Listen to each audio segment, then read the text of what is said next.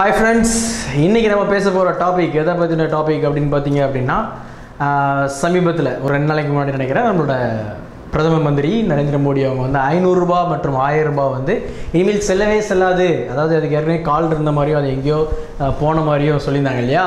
So அந்த ஐநூறு ஆயிரம் வந்து இனிமேல் செல்லவே செல்லாது அப்படின்னு சொல்லியிருந்தாங்க.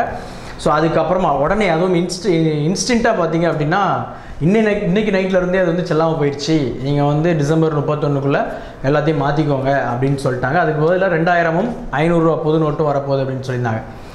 ஸோ இதை வந்து நம்ம எந்த மாதிரி ஆங்கிளில் பார்க்கலாம் ஃபஸ்ட்டு அப்படின்னு பார்த்தீங்க அப்படின்னா கண்டிப்பாக இதை வந்து ஓகே நம்ம இந்திய நாட்டோட முன்னேற்றத்துக்காகவும் வளர்ச்சிக்காகவும் இப்படி ஒரு பொருளாதார வளர்ச்சிக்காகவும் பண்ணுறாங்க அப்படின்னு சொல்லிட்டு ஒரு பக்கம் பார்த்தாலும் இன்னொரு பக்கம் பார்த்தீங்க அப்படின்னா எக்ஸாம்பிள் ஃபஸ்ட்டே சொல்லியிருந்தாங்க இதுக்கு வந்து யாருமே மக்கள்லாம் பீதி அடைய வேண்டாம். உங்களோட பணத்தோட வேல்யூ எதுவுமே கெட்டு போகாது நீங்கள் ம நாளை கழிச்சு. அதாவது நேற்று பேங்க் கிடையாது. ஸோ இன்றைக்கி பேங்க் இருக்கும். அன்றைக்கி வந்து நீங்கள் போய் பேங்க்கில் கொண்டு போய் உங்களோட பழைய ஐநூறு ஆயிரத்தை கொடுத்தீங்க அப்படின்னா ஃபஸ்ட்டு சொன்ன விஷயங்கள். நான் சொன்னது வந்து அப்படியே அந்த அன்னைக்கு என்ன சொன்னாங்களோ அதை சொன்னேன். ஐநூறு ஆயிரம் அதை கொடுத்தீங்க அப்படின்னா உடனே புது நோட்டு அந்த ரெண்டாயிரம் ஐநூறை வந்து கொடுத்துருவாங்க உங்களுக்கு அப்படின்னு சொல்லியிருந்தாங்க. பட் ஆனால் இன்றைக்கி நடந்தது என்ன? இதுக்கு முன்னாடி வரைக்கும் ஓகே அது வந்து நேரத்தெல்லாம் மக்கள் அங்கே ஏடிஎம்மில் பணம் இல்லாமல் கஷ்டப்பட்டாங்க. அதுக்கப்புறமா நம்ம பெட்ரோல் பல்கில் போய் கட்ட கஷ்டப்பட்டாங்க. அப்படிலாம் நிறைய விஷயங்கள் இருந்தாலும் அதாவது அன்றாட அந்த செலவுகளுக்கே ரொம்ப கஷ்டப்பட்டாங்க அப்படின்னு சொல்லிட்டு நிறைய வீடியோஸ் பார்த்தோம். ஸோ அப்படிலாம் வந்து அதெல்லாம் நம்ம ஓரம் கட்டிட்டு இன்றைக்கி நடந்தது என்ன அப்படின்னு சொல்லி போய் பார்த்தோம் அப்படின்னா நம்ம பழைய நோட்டு நோட்டுகளை கொண்டு போய் மாற்றணும் அப்படின்னு சொல்லி சொன்னோன்னா வந்து பார்த்தீங்கன்னா உடனே வாங்க ராசா வாங்க நாங்கள் தாரோம் அப்படின்லாம் எந்த பேங்க்லேயும் சொல்லலை. ஒரு ஃபார்ம் கொடுத்தாங்க. அந்த ஃபார்மில் வந்து பார்த்தீங்கன்னா நம்மளோட அக்கௌண்ட் டீட்டெயில்ஸ் மற்ற டீட்டெயில்ஸ் எல்லாமே எழுதிட்டு நம்மளோட நேம் அந்த மாதிரி எவ்வளோ அமௌண்ட் கொடுக்குறோம் அப்படின்றது எல்லாத்தையும் இது பண்ணணும் அப்படின்ற மாதிரி சொன்னாங்க. பட் ஆனால் என்ன அப்படின்னா இன்றைக்கி வெறும் நாலாயிரம் ரூபா தான் தருவோம் அப்படின்னு சொன்னாங்க. சரி ஓகே நாலாயிரம் அப்படின்னா அவர் எட்டு ஐநூறு நோட் தருவாங்கப்பா அப்படின்னு சொல்லிட்டு சோகா காத்துட்டு இருந்தாங்க. நம்ம போன பேங்க்லலாம் பார்த்தீங்க அப்படின்னா அப்படி இருந்தாங்க மக்கள்.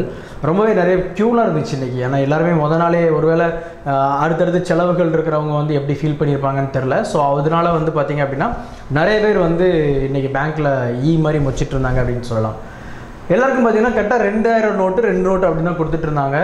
எல்லாருக்குமே போகிறவங்களுக்குலாம் எனக்கு என்ன டவுட் அந்த டைமில் வந்துச்சு அப்படின்னா இந்த ரெண்டாயிரம் ரூபாய் நோட்டை கொண்டு போய் வெளியே ஏதாவது கடையில் கொடுக்குறோம் அப்படின்னா அந்த ரெண்டாயிரத்துக்கு அவன் அதுக்கப்புறம் நம்ம மக்களுக்கு வந்து அதாவது மக்களுக்கு அதை அந்த சேஞ்சை கொடுக்கறதுக்கு அந்த கடைக்காரங்கள்ட்டையோ அல்லது அந்த மற்ற ஆட்கள்கிட்டையோ சேஞ்சஸ் வந்துருச்சா அப்படின்ற ஒரு பெரிய டவுட் வந்துச்சு. ஸோ அதை வந்து பதிவு பண்ணலாம் அப்படின்ற ஒரு ஐடியாவில் தான் பதிவு பண்ணோம். அதுக்கப்புறம் பார்த்தீங்க அப்படின்னா நிறைய பேர் வந்து இதெல்லாம் வந்து தேவையில்லாத வேலை. பேங்க்லேயே நிறைய பேர் இன்றைக்கி பேச பேசின நம்ம கேள்விப்பட்ட விஷயங்கள் அதாவது நம்ம காதலப்பட்ட விஷயங்கள் என்ன அப்படின்னா இது வந்து தேவையில்லாத வேலை. மக்கள் அடிப்படை ரொம்ப மிடில் கிளாஸ் பர்சன்ஸாக ரொம்ப கஷ்டப்படுறாங்க. ஆய் போய் அல்ல பிள்ளை சில பேர்லாம் பார்த்தீங்கன்னா ஒப்பாரி வைக்காத குறை சில பேர் வந்து கெட்டதெல்லாம் ஒரு திட்ட அளவுக்கு ரொம்ப மோசமாக இன்றைக்கி வந்து பேங்க்கில் நிறைய விஷயம் பார்த்தோம். குறிப்பாக சில பேர் வந்து என்ன சொன்னாங்க அப்படின்னா நல்ல திட்டம் தாங்க ஆனால் இதுக்காக வந்து எந்த பெரிய மல்டி மில்லியனராக வந்தாங்களா பார்த்தீங்களா அப்படின்னு சொன்னாங்க. ஸோ எந்த மல்டி மில்லியனருமே நம்ம நாட்டில் வந்து பார்த்திங்கன்னா அவங்க ஸ்ட்ரெயிட்டாக பேங்க் வர்றது கிடையாது. அது வேறு விஷயம். அதெல்லாம் நம்ம வந்து செகண்டரியாக வச்சுப்போம். அதை பற்றி நம்ம பேசவே இல்லை. ஸோ நமக்கு தோணுன ஒரே ஒரு விஷயம் என்ன அப்படின்னா அப்துல் கலாம் ஐயா வந்து முன்னாடி சொல்லியிருந்தார் இல்லையா ரெண்டாயிரத்தி இருபதில் வந்து இந்தியா வல்லரசாகும் அதாவது கனவு காணுங்கள் அப்படின்னு சொல்லிட்டு. ஸோ இன்னைக்கு நேற்று இந்த நடந்த இந்த விஷயம் இந்த ஐநூறு ஆயிரம்லாம் இனிமேல் கிடையாது அப்படின்னு சொன்ன விஷயங்கள் பார்த்தீங்க அப்படின்னா ஏதாவது கருப்பு பணம் பதுக்கி இருக்கிறவங்க வந்து வெளியே கொண்டு வந்தாங்க பணத்தை அப்படின்னு சொன்னால் மோடிஜி சொன்ன மாதிரி ஒவ்வொரு அக்கௌண்ட்டுக்கும் பதினஞ்சு லட்சம் அதாவது கருப்பு பணத்தை மீட்டு அதாவது வெளிநாட்டு வங்கியில் உள்ள கருப்பு பணத்தை மீட்டு ஒவ்வொரு அக்கௌண்ட்டுக்கும் நாங்கள் பதினஞ்சு லட்சம் தருவோம்னு சொன்னார். பட் ஆனால் இங்கே உள்ளவங்க பதுக்கி வச்சிருக்கிறத வெளியே கொண்டு வரதுக்காக தான் இதை நான் பண்ணியிருக்கிறேன். அதை அப்படியே விட்டாங்க காற்றுல பட் ஆனால் இப்போ இதுக்கு வந்து புதுசாக ஆரம்பிச்சிருக்கிறாங்க இல்லையா?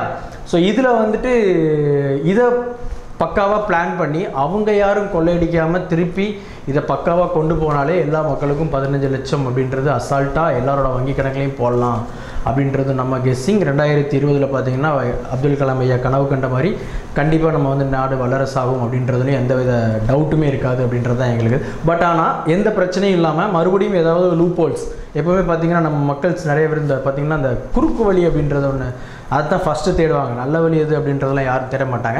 இந்த குறுக்கு வழி லூப் ஹோல்ஸை வந்து ஃபஸ்ட்டு தேடுவாங்க இல்லையா? ஸோ அந்த மாதிரி து- தேடி இந்த ரெண்டாயிரம் நோட்டையும் பதுக்கி வைக்கிறதுக்கு ஏதாவது வழி இருக்கா? அப்படின்னு சொல்லி யோசிக்காமல் இருந்தாங்கன்னா ரொம்ப சந்தோஷமான ஒரு விஷயம்.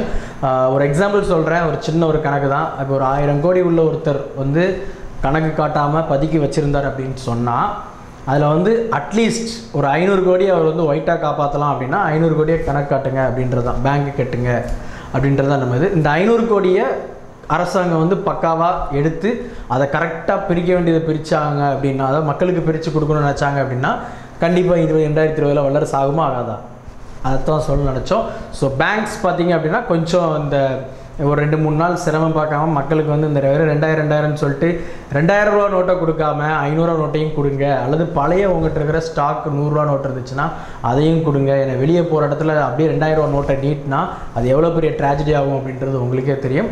ஸோ அதை வந்து நம்ம வீடியோ மூலமாக ஒரு பார்த்து ஒரு அஞ்சு பேர் இது பண்ணால் கூட நம்மளுக்கு ரொம்ப நல்ல விஷயமா இருக்கும் அப்படின்றதுக்காகவே பண்ணோம். ஸோ இந்த வீடியோ உங்களுக்கு பிடிச்சிருந்துச்சி அப்படின்னா உடனே சப்ஸ்கிரைப் பண்ணுங்கள் உங்கள் ஃப்ரெண்ட்ஸ்க்கு ஷேர் பண்ணுங்கள் மறக்காமல் உங்களுக்கு ஏதாவது கமெண்ட்ஸ் இருந்துச்சுனாலும் அதை வந்து தாராளமாக கீழே நம்ம கமெண்ட் பாக்ஸில் கொடுங்க. மீண்டும் சூப்பராக ஒரு வீடியோட உங்களை சந்திக்கிறேன். ஃப்ரம் ராஜேஷ். பாய்